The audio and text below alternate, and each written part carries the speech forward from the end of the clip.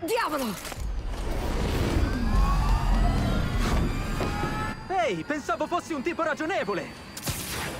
So essere ragionevole. Ma non sono un tipo. Ci divide una barriera linguistica. Ah.